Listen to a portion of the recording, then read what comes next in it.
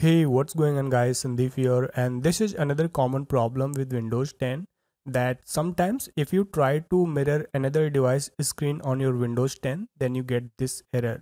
Like if I go to settings and then system settings and then click on projecting to this PC then you can see that these options are disabled.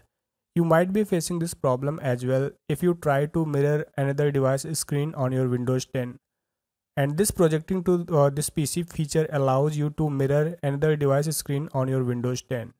So to fix this problem you have to install an additional feature.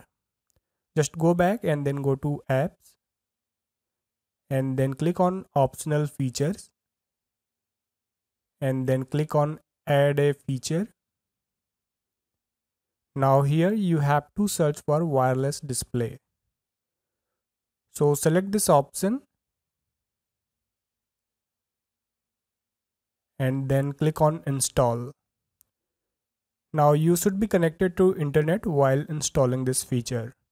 It may take some time to install it. Now let's go back to system settings and then uh, projecting to this PC and you can see that these options are now enabled. You can select them as per your choice. You can launch connect app to project another device screen to your windows 10 uh, let me click on it.